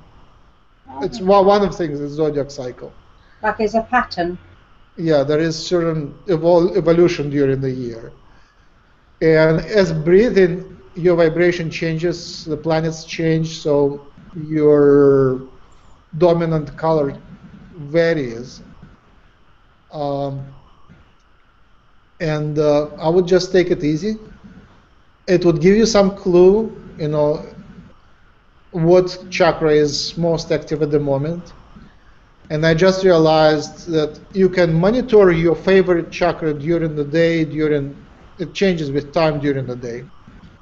And like recently, I was in Human Colony. It's not anywhere else. In Human Colony, somebody posted something about the politics, and I became involved in that, and then it just lowered my vibration right away. Like next hour, I was like, wait a second, where am I? Why am I seeing things and thinking about things which I never pay attention to? Mm-hmm. Oh, I stepped into politics and I opened a few windows of that nonsense, right? So, you know, I explored it a little bit, but then I kind of intended and purified myself back to my normal state because it was disturbing and unhealthy for me. It was not where I want to be. So um, yeah, monitoring where you are and where you want to be, I think, is is uh, is a part of spiritual hygiene. So if you find that you're too much in the certain color, maybe it's indicative. You know, do you really want to be there, or is it just happened for a while and do you want to shift up. And it's not necessarily only a color. There are sounds, there are smells. It's all uh, symbolic. It doesn't have to be all, all the time. And uh, you can easily switch if you like, and you just explore and see where you want to be and what do you want to explore. Because it's just a tool. It's just you no. Uh, you're multidimensional, so it's your choice where to focus your attention. Hmm.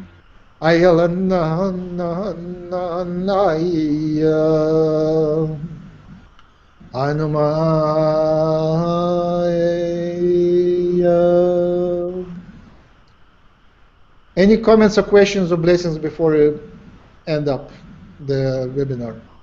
I'm sorry if I interrupted your conversation. Uh, about sex? Yeah. No, we. Uh, I think it was good timing because we were discussing should we stop or we continue. So thank you for bringing a couple more questions. Allah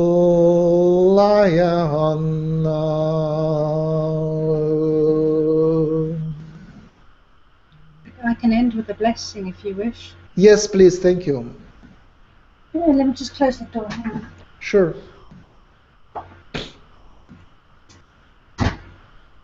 I'm a bit shy. So- okay. Yeah, I'm I'm learning though. I'm get, I'm getting I'm getting there. It's more than I've ever done. Anyway. Okay. Go ahead. Shine. Instead of shy, being shy, shine. Shine. Okay.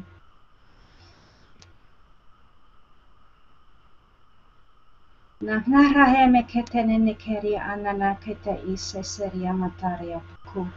Na herema aula hohe o kotono no kototo ya ebikete isse erian otaku. La haria makatane iketeteneria ka ohlahi e ebiketria pakatane ni ebukutunus sumuhutu herjamakatarea ta herja sesaria maka ola e meketeria paka ore piketene ke ende keteria nanana kai es sesaria mala. Na hara mangara ye ria nanana kataria mala lana mono sususurio mokotorio na ha ari anenen herke dedikete paka ta e, pakata ke te ne ne keteria nanana kataye okay that's it. Okalahan na kuna makaala kasha kadaya kaada kana kodaya na hala makana ola kana mana kana ona yamana konda tura kana mana kana na mana kada ora daya kada udaya kada ke kada gola na ada kada gayo kada arahuna yamana yana yana yana ugada yana ula gadayana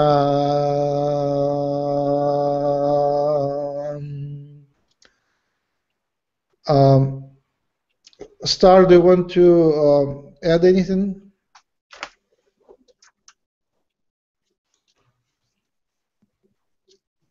May the information gathered, received, and blessed be transmitted for all of us to be. May those who hear these messages be blessed as well. And may this help humanity to ascend to where Creator wants us to be. With His grace, Amen. Amen. amen Amen. The the light is coming. The beauty of light is immense. Their doors are unlocked. It's up to you to open them and to get the light in. The windows are unlocked. Just open them and get the lights in. There is so much beauty streaming to you. It's up to you to open your perception to the beauty which is endless and abundant.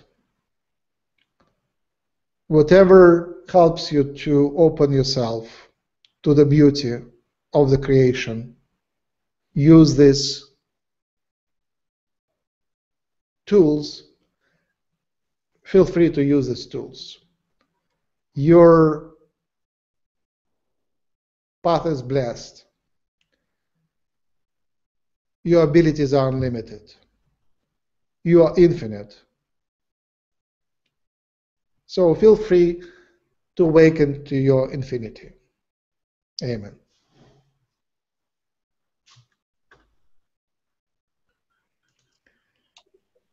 Amen. How do I mute Shirley? I muted her. There is no way to unmute, I guess. Shirley, you have to unmute yourself. I'm sorry for muting you, but there is a feedback. Yay, thank you. Sorry. Uh, I just wanted to say it was lovely to meet you both. I haven't I haven't actually met you, Max. Uh, it's uh, I'm very new here, and I've only been to a couple of Jim's webinars. So and I haven't seen you around. So it was nice meeting you, and Raymond as well. I've seen you in the webinars, but I haven't spoken to you. So it was really nice meeting you both. Thank you, Shirley. Thank you, Raymond. Um, Thank nice you. to meet you both, and thank you for co-creating this class. Um, let's come together soon. I will announce more classes soon. Um, it was very helpful to have that exchange with you, and I hope to build on that. And my fu- our future viewers, we welcome you and join us in the future webinars. Our site is humancolony.org, and right there on the front page, or any page actually, there is there are links to the future events. Have a good day and um, enjoy their beauty streaming to you. Good day. Bye. Bye. Bye.